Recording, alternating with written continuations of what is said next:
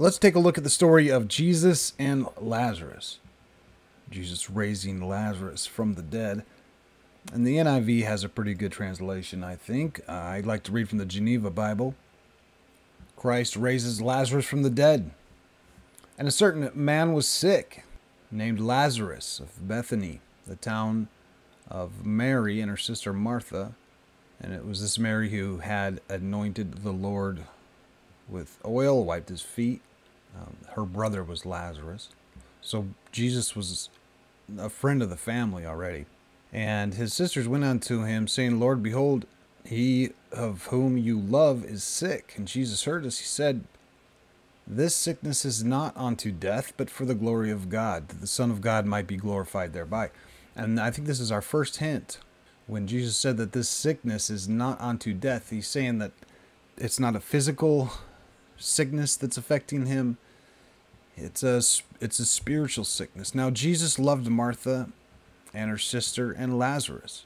And after he heard that he was sick, he abode there for 2 days and this so he stayed where he was at for 2 days and after that he said to his disciples, "Let's go to Judea again." And and it seems that this verse about walking in the night and he's stumbling is a reference to Lazarus. These things Jesus spoke and after he said, "Our friend Lazarus sleeps, but I go to wake him up." So interesting that in verse 11, Jesus said that Lazarus is only sleeping. And the disciples said, Lord, if he sleeps, then he shall be safe. Or uh, the NIV here says, if he sleeps, he will get better. However, Jesus spoke of his death, but they thought that he had spoken of the natural sleep. Okay, so here it's saying that the disciples thought that Jesus had spoken of a natural sleep. So it's a hint that Lazarus is not in a natural sleep. And when Jesus says, Our friend Lazarus sleepeth, uh, Jesus is not talking about a natural sleep. But now in verse 14, Jesus said unto them plainly, Lazarus is dead. And I'm glad for your sakes that I was not here that you may believe, but let us go on to him. So interesting that uh, Jesus said, I'm glad that I was not here so that you may believe. And I think Jesus is saying that, you know, if the master Jesus was here with his student Lazarus, Lazarus never would have slipped into this uh, hibernation or spiritual sleep that he's in. But Jesus is glad that he wasn't here because now he's able to wake uh, Lazarus back up and through this perform a miracle. So Didymus Thomas, uh, by the way, is the founder of the Tartarian Christian nation of Argon. Argon, formerly a Christian kingdom under Prester John of Asia, established by Saint Thomas the Apostle, Didymus Thomas. So up here near the Bering Strait, near Arzareth. Now Didymus Thomas is saying, "Let us go that we may die with him." And I think that Thomas is not talking about a physical death. He's not saying, let's, you know, let's all go commit suicide here. Didymus Thomas is talking about a spiritual death. And that when he says, let us die with Lazarus, he's not, you know, they're not actually going to die, but perhaps go into the same spiritual sleep that, uh, that Lazarus is in. Then came Jesus and found that Lazarus had lain in the grave for four days already. Jesus therefore saw her and wept, and the Jews also wept and came with her. And he groaned in the spirit and was troubled in himself. And he said, Where have you laid him? They said to him, Lord, come and see. And Jesus wept. Jesus therefore again groaned in himself and came to the grave, and it was a cave, and a stone was laid upon it. Lazarus, uh, you know, died and was resurrected in a very similar manner. They put him into the grave, and uh, Jesus came to the and there was a stone laid upon it, and they said, "Take away the stone." And Martha, the sister of him that was uh, dead, said, "Lord, he's gonna stink already, for he's been dead for four days." And Jesus said unto her, "Said I not unto thee that if you did believe, you should see the glory of God?" And they took away the stone from the place where the dead was laid, and Jesus lifted up his eyes and said, Father, I thank thee, because thou hast heard me. I know thou hast heard me always, but because of the people that stand by, I said it, that they may believe that thou hast sent me. And as he had spoken these things, he cried with a loud voice, Lazarus, come forth.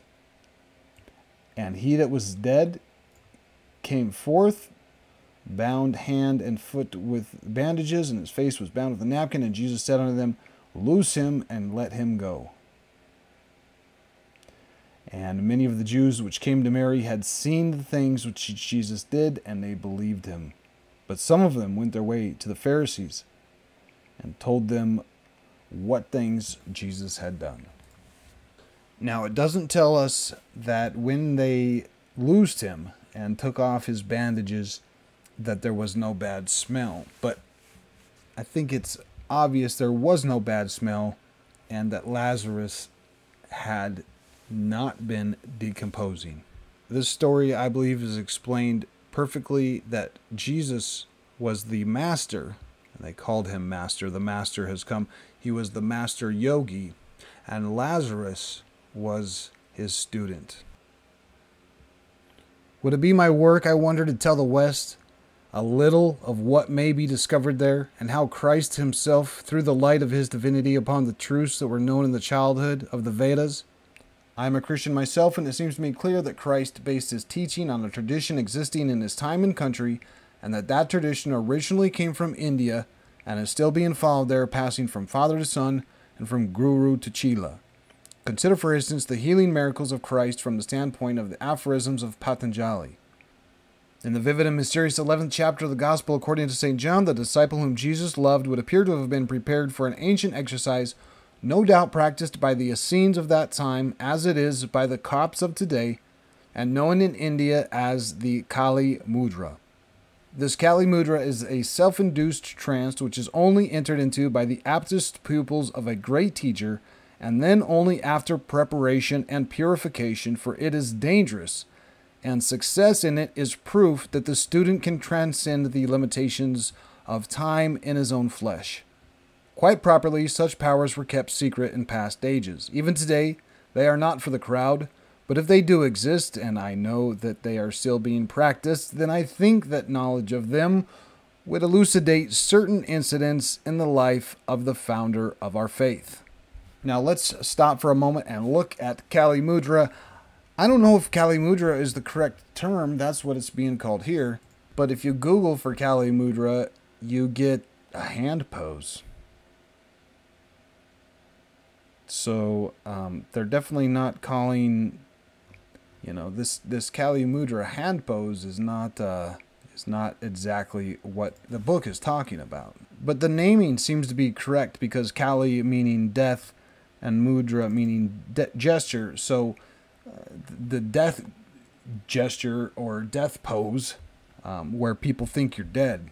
So the term Kali Mudra uh, may be correct. It's I'm not sure how it corresponds to the modern hand pose.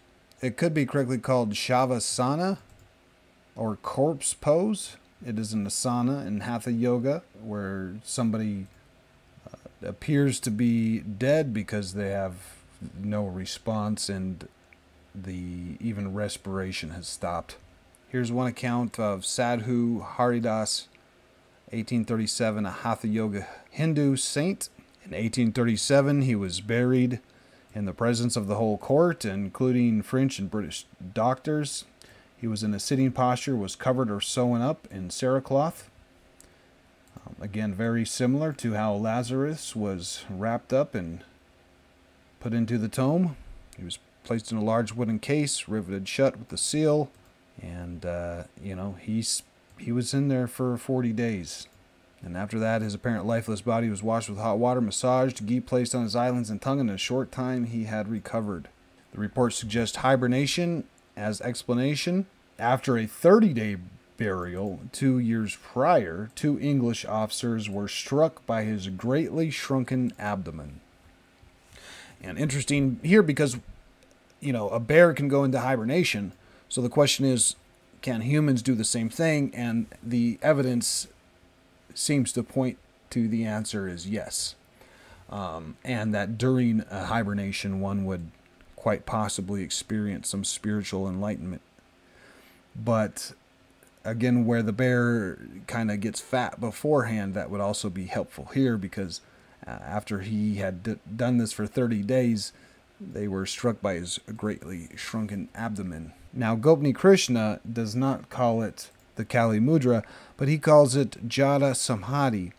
There are also ascetics who can suspend their breathing for days so that they can be buried underground or placed in hermetically sealed chambers for days and weeks without being suffocated. But despite such drastic measures, they often awake as one awakes from a deep sleep or a swoon without experiencing the least enlargement of their consciousness or gaining any insight of the transcendental nature. This is called Jada Samadhi, which means unconscious Samadhi.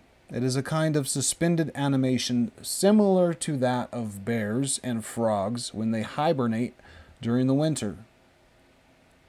So, again, a hint here that humans can put themselves into a suspended animation, a hibernation, in which the breathing uh, comes to a stop and they are in some type of a deep sleep.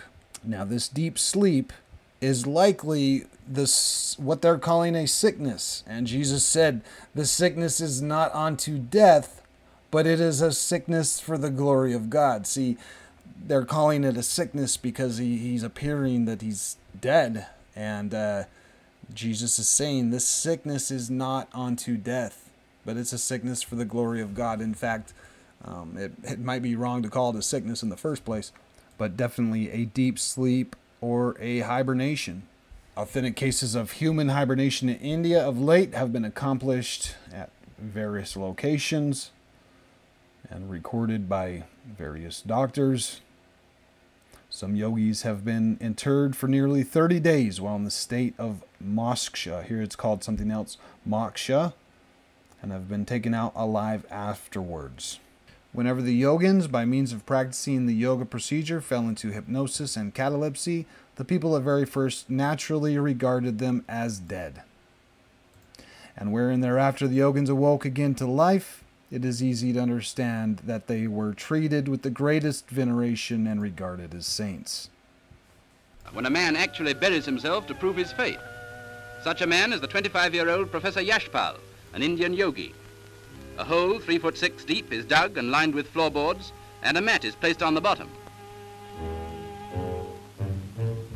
After a few moments' meditation, the yogi steps into it. He lowers himself into the hole and the grave is covered with more boards and sacking, and finally with 10 inches of good earth.